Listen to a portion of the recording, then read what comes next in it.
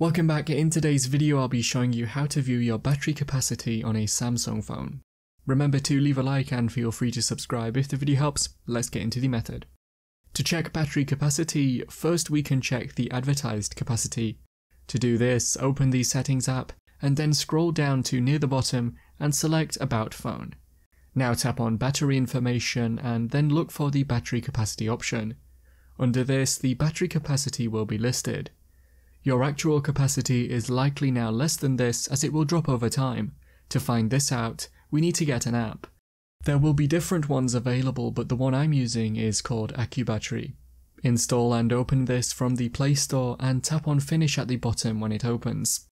When you go through a full charge cycle, that's down to less than 15% and then back up to full, this app will reveal the estimated capacity in the battery health section.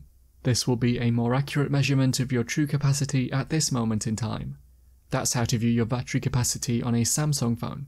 Click the card on screen now to watch a video of mine showing you 10 easy ways to speed up your Samsung device.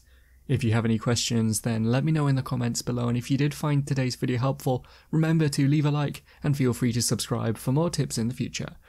Be sure to stick around to see some of my other videos that you might be interested in. Thanks so much for watching and I will see you in another video.